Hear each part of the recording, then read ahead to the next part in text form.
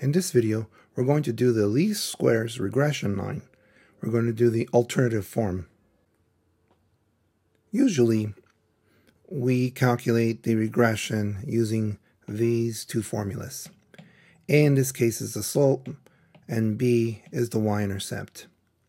You can see that usually you'll have to do sums of x times y, sum of x, sum of y, sum of x squared. And then after that, after you find the sums, you pop them into the formula and you get your regression line. But there is an alternative way of doing this, and it's these two formulas down here. A, again, is the slope. What you're going to need is the correlation coefficient, which I'll show you in the video. You can uh, click on this link on the top right here, this card for correlation coefficient.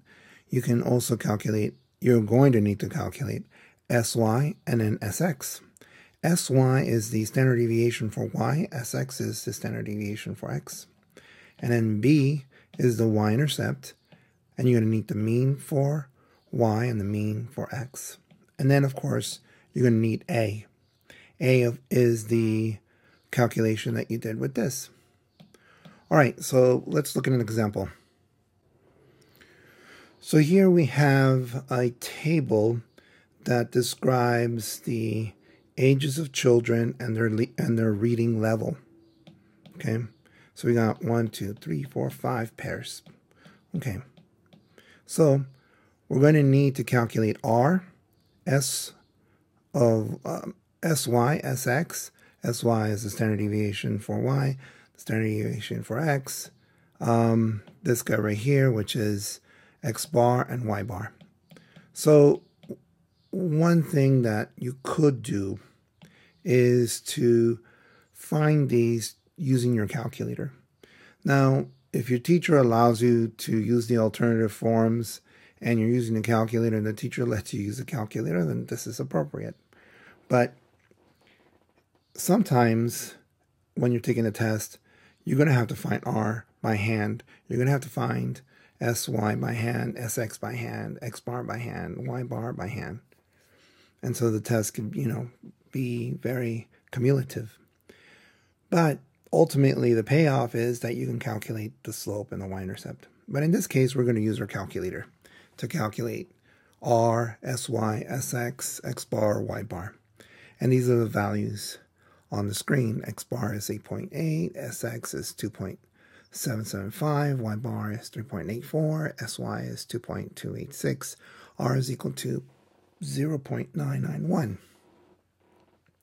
Okay, so that's the first thing. The second thing is let's find A and B. Let's uh, show our work. So we take the formula for A, we plug in 0.991 for R, and then 2.286 divided by 2.775.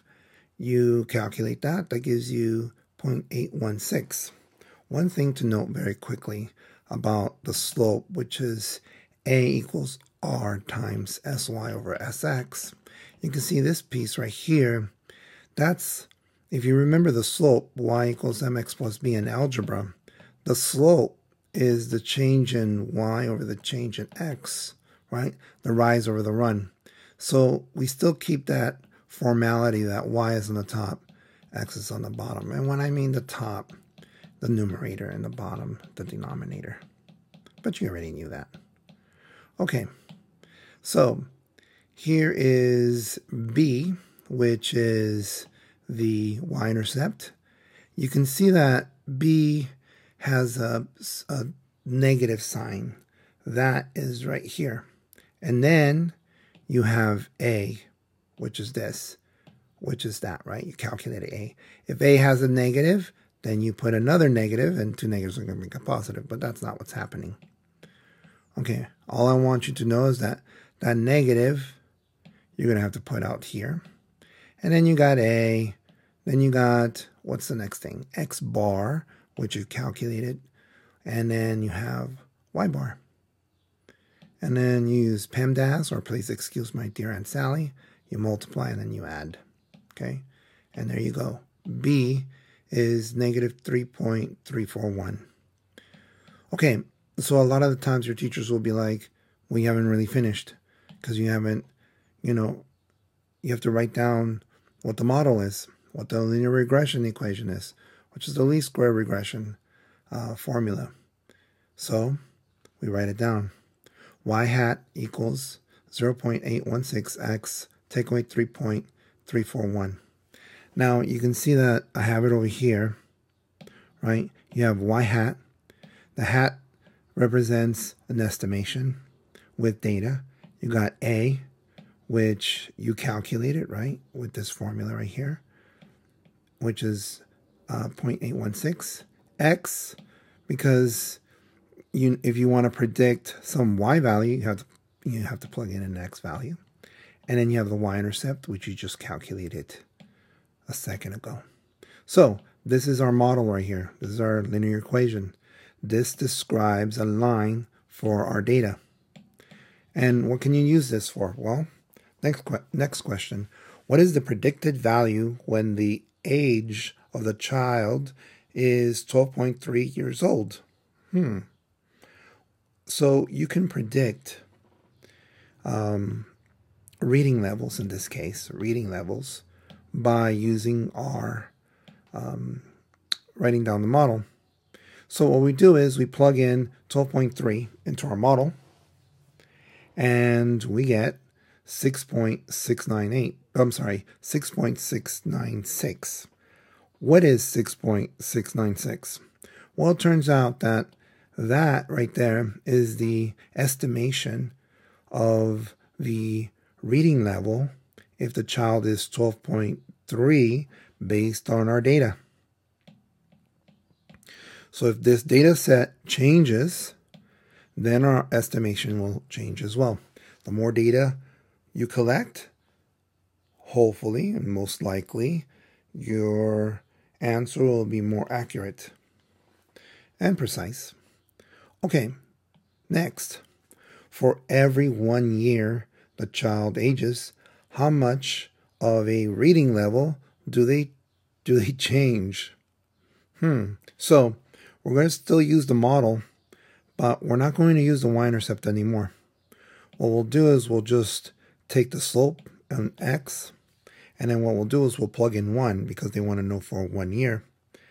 And so here, after we plug in 1 into 0.816, we get 0.816 increase for each year of growth. So the reading level, right?